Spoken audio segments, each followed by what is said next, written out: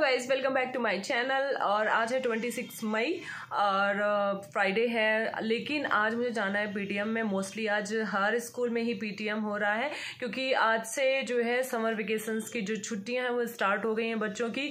और थोड़ा थोड़ा सा हार्ट बीट भी बढ़ रहा है इसलिए क्योंकि वो जो फोर आवर्स या फाइव आवर्स का टाइम होता था ना स्कूल में उसमें uh, जो एक मदर होती बहुत सारी चीज़ें मैनेज कर लेती थी बहुत सारी चीज़ें कर लेती थी क्योंकि बच्चा होता है छोटा तो वो करने नहीं देता है। ठीक है?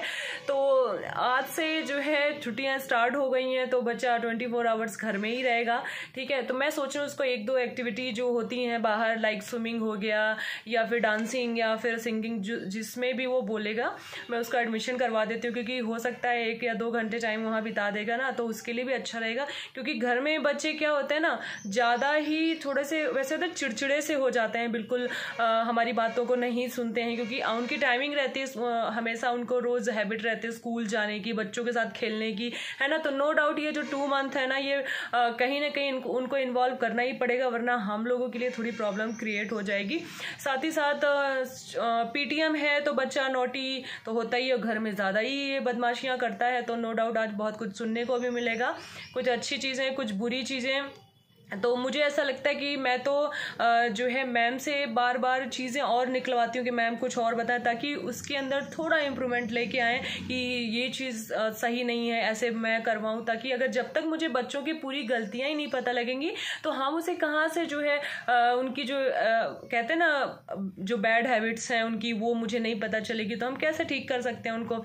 तो चलते हैं फिर मैम से, इसलिए आप लोग भी अगर पीटीएम में जाते हैं ना तो प्लीज़ कोशिश करिएगा ज़्यादा टाइम मैम के साथ बिताओ और हर वो चीज़ निकालो। मतलब पॉजिटिव तो चलो ठीक है है ना? जो भी है पॉजिटिव भी सुन लो आप, ठीक है? लेकिन निगेटिव जो बच्चे के पॉइंट्स होते हैं, उसको ज़रूर निकलाओ, ताकि आप उस चीज़ को कहीं, होता है ना स्टार्टिंग से ही जब बच्चा छोटी छोटी गलतियों को अगर हम उसे इग्नोर करते रहेंगे तो बाद में चल के बच्चा बड़ी गलतियाँ करने लगता है।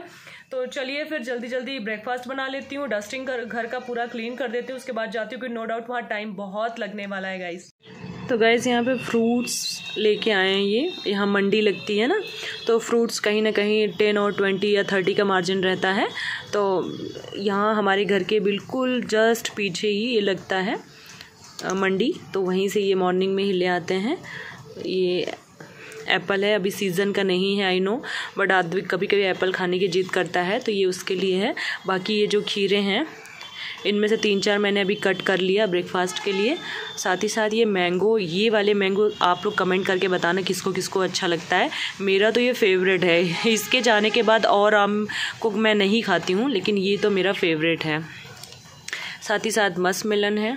और ये वाटरमेलन ये सारे सीजनेबल जो फ्रूट होते हैं ना, वो है। और यहाँ पे वो भी बहुत आता है प्लम बहुत आता है, जिसे आलूचा बोलते हैं ना पीच ये सब बहुत आता है अपने अम्बाला में। तो ये बात है कि अम्बाला में ना जो फ्रूट्स हैं ना, वो बहुत फ्रेश आते हैं। आप देख सकते हो, इसको तीन से चार दिन भी रखेंगे ना तो भी जो है, और ये एकदम सॉफ्ट है। मैं अगर आपको बताऊँ ना, बिल्कुल ऐसा लग रहा है अभी बिल्कुल खेतों से आया हो तोड़ करके। अब बस क्या करना है? वही अपने रोज़ के काम इसे वॉश करना है, जो जहाँ जो फ्रिज में रखने वाले हैं फ्रिज में लगाना है, जो बाहर छोड़ना है, वो बाहर रखना है। आज इनको मॉर्निंग में ही भूख लग गई तो इन्होंने अपने लिए बनाई थी ब्राउन ब्रेड की सैंडविच बहुत हेल्दी होती है ये।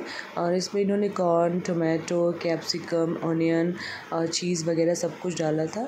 बाद में मैंने फिर ये आलू भुजिया वाली जो सब्ज़ी होती है ना, बहुत सिंपल होती है, उसे बनाया। और पराठा के लिए मैंने जो है आटा वगैरह गूँथ के रख दिया। अब मैं थोड़ा सा अपना चाय इन्जॉय कर लेती हूँ, क्योंकि सुबह की जो टी होती है ना, मेरे लिए बहुत इंपॉर्टेंट रखती है। और उसके साथ थोड़ा सा कुछ ना कुछ मुझे चाहिए, चाहे कुकीज़ हो या फिर अपना जो टोस्ट वगैरह आता है, वो सब, लेकिन कुछ ना कुछ मुझे चाहिए। बहुत लेट हो रहा था पीटीएम के लिए कॉल आ गई तो हम सब वहाँ पहुँच गए। क्योंकि आद्विक का फ़र्स्ट रोल नंबर है तो हमारा, हमें पहले ही पहुँचना था। और यहाँ पे आज से आद्विक का समर वेकेशन भी स्टार्ट हो गया।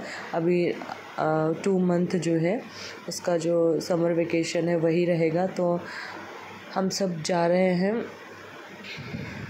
आदविक की दादी के यहाँ, और जो कि प्रतापगढ़ में है। यहाँ पे जो है, मैं दिखा रही हूँ आपको जो इनका स्कूल है ना, बहुत बड़े एरिया में है गाइस मतलब फ़र्स्ट टाइम मैंने इतना बड़ा स्कूल देखा जो कि इतने बड़े एरिया में है। ना जाने मतलब आठ, नौ पार्क तो स्कूल के अंदर ही हैं। Like animal park natural park flower park पता नहीं कौन कौन से पार्क जो है, अंदर ही अंदर बने हुए हैं। और जो ये स्लाइडिंग वगैरह है, ये सब चीज़ें तो अंदर कम से कम दस बारह तरीके का बिल्कुल एक जगह है, फिर दूसरी जगह आगे चल के है, फिर तीसरी जगह है। तो यहाँ पे आदमी फुल इंजॉय कर रहा है।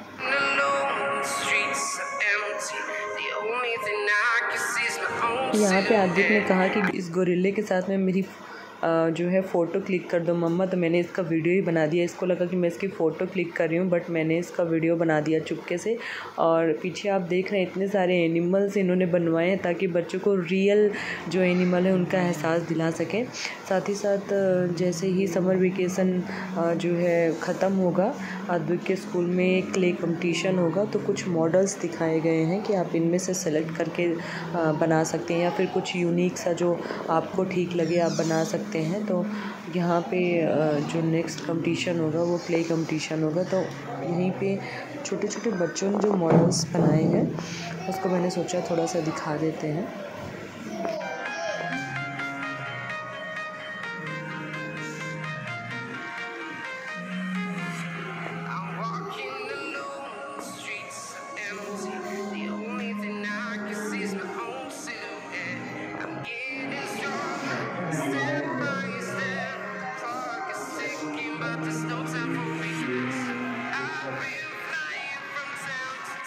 तो रात में बहुत ज़्यादा बारिश हो गई थी तो सारे कपड़े मैंने ला के सोफ़ा में ऐसे ही रख दिया इकट्ठे, क्योंकि जो है रात को दो बजे का मामला है तो कौन उसे तय करके रखेगा।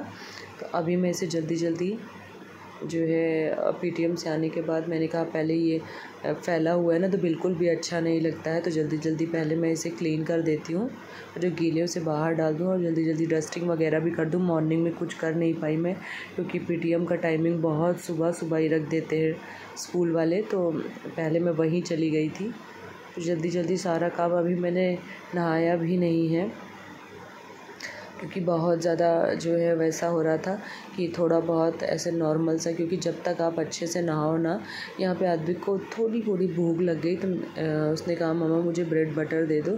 तो मैंने उसे ये बना के दे दिया, ताकि जो है थोड़ा सा वो शांत हो जाए। खाने के टाइम वो पूरा शांत रहता है। मैंने यहाँ पे जल्दी जल्दी पूजा कर लिया। आज मुझे पूजा करने में ग्यारह बज गया। उसके बाद मैं सो गई थी। क्योंकि बहुत ज़्यादा थकी हुई थी मॉर्निंग से ही उठ के तो बिल्कुल मैं सो गई थी फिर।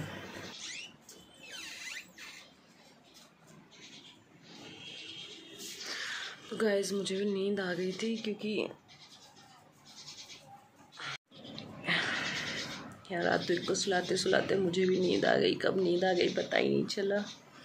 क्योंकि सुबह आज पीटीएम के चक्कर में ना बहुत ज़्यादा होता है ना कि कहीं जाना होता है ना तो दिमाग आपका वैसे ही स्ट्रेस में रहता है कि जाना है, कैसे जाना है, कब जाना है। तो इसी वजह से अभी मैं थोड़ा सा बहुत स्लो बोल रही हूँ क्योंकि कहीं जग ना जाए। इनके भी आने का टाइम हो रहा है क्योंकि मोस्टली ये साढ़े पाँच या छः बजे तक तो आ ही जाते हैं। तो साढ़े पाँच बज गए हैं तो अभी आने वाले होंगे। तब तक मैं थोड़ा सा फ्रूट्स वगैरह कटिंग कर देती हूँ क्योंकि आने के बाद ये फ्रूट्स वगैरह लेते हैं। Step by step, heart is sinking, but there's no time for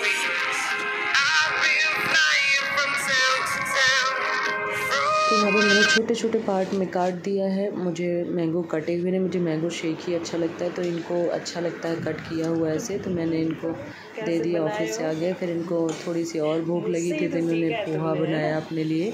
और ये पोहा बनाना इन्हें मैंने ही सिखाया है पर ये एक्सेप्ट कभी नहीं करते हैं। लेकिन नो डाउट मुझसे ज़्यादा ही अच्छा मुझसे ज़्यादा टेस्टी बनाते हैं। नहीं बोलना। बताओ ये आपको किसने बनाना सिखाया? बताओ जल्दी। ये आपको किसने बनाना सिखाया? यहाँ पे इनका पोहा बन के रेडी हो गया है। कलर आई डोंट नो क्यों ऐसा आ रहा है बट ये बहुत टेस्टी बनाते हैं। यहाँ मैंने इनकी चुपके से क्लिप भी ले लिया क्योंकि ये अपनी वीडियो बनाने के लिए हमेशा मना करते हैं। तो यहाँ पे देखिए पूरा अच्छे से नमकीन वगैरह डाल के सर्व करके दिए हैं। और रात में जो है हुआ क्या कि आदिक का हम जा रहे हैं ना आद्विक की दादी के यहाँ तो इस वजह से यानी मैं अपने ससुराल जा रही हूँ तो आदमी के कुछ कपड़े रह गए थे तो इस वजह से मुझे फ़र्स्ट क्राई जाना पड़ा। और अम्बाला सिटी में फ़र्स्ट क्राई है। फ़र्स्ट क्राई में आप बच्चों के कैसे भी कपड़े लेने हो, मिल जाते हैं। वहाँ से आदविक ले आया अपने लिए ये पेस्ट्री और पेस्ट्री वैसे भी इसे बहुत ज़्यादा पसंद है। रात के डिनर में बहुत हल्का था क्योंकि बाहर से हम लोग थोड़ा बहुत कुछ खा के आए थे तो बस मिक्स वाली दाल, राइस और ये लोहे की कढ़ाई में बनी हुई जो लौकी की सब्ज़ी होती है, बहुत टेस्टी लगती बिल्कुल सिंपल देसी घी वाली। तो आई होप गाइज़ आपको वीडियो अच्छा लगा। वीडियो अच्छा लगा तो प्लीज़ वीडियो को लाइक शेयर और कमेंट करना बिल्कुल मत भूलिएगा। और चैनल में नए हैं तो प्लीज़ चैनल को सब्सक्राइब करके जाइएगा। मिलेंगे आपसे नेक्स्ट वीडियो में। तब तक के लिए bye bye take care and love you all